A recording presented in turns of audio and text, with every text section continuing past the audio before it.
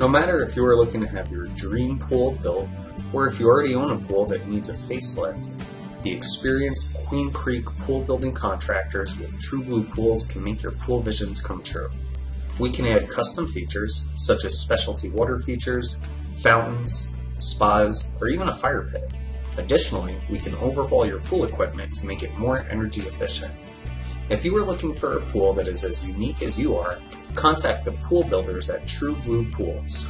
We can help you plan, build, and maintain your Queen Creek pool or spa.